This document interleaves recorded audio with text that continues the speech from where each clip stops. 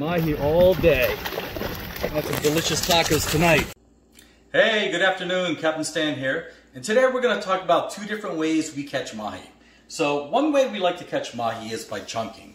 And let me show you what we like to do. We used to like we like to use these number three owner gorilla hooks, tiny little hooks. Uh, they are multi-purpose, but we're going to talk about how we use them for chunking for mahi.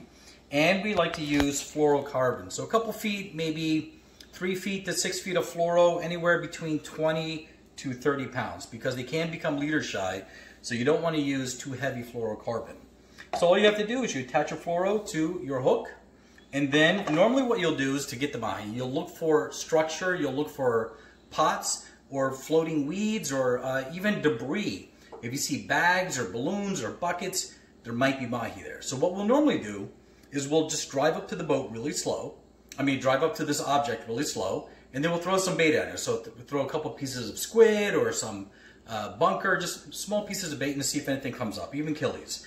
Uh, is a, a, little live fish that we get a lot up here in Jersey. So you throw it, you see if there's anything there, and then you, what you do after that, just attach your bait to the hook, throw it in, and then you'll very likely catch something with that until they finally learn that, hey, my friends are missing, and then you move on to the next spot. Now, the other way we like to catch mahi is by trolling. So there's a couple things that you could do for trolling.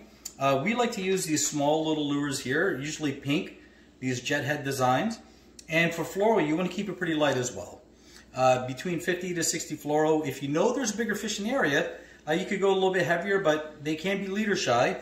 And then a mustad uh, O'Shaughnessy hook, number seven. You just attach it to your lure, and then you troll it at around five to six knots. And then uh, sim similar to what we did with the, the uh, objects for the chunking hooks, very similar with this. You find something, you find a pot, you find some structure, you find some debris floating, just drive your lures right near it and you'll very likely hook up. So these are the two different ways we like to catch mahi.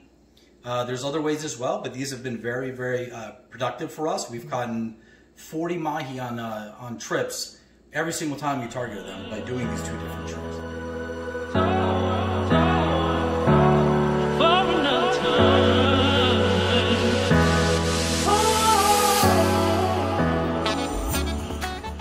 We're at the Tom's Canyons. I'm taking the boys here. We're gonna get some mahi on the jig. Let me show you how it's done.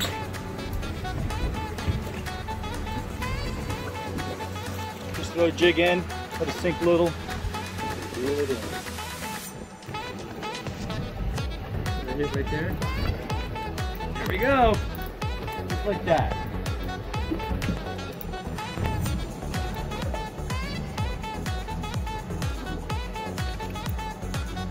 Mahi all day. Got some delicious tacos tonight. How many do we have in the boat now, Stan? 30 in the box, boat limit. Hey, this is Captain Stan here. If you like what you're seeing, you want to learn more, like and subscribe. Click below.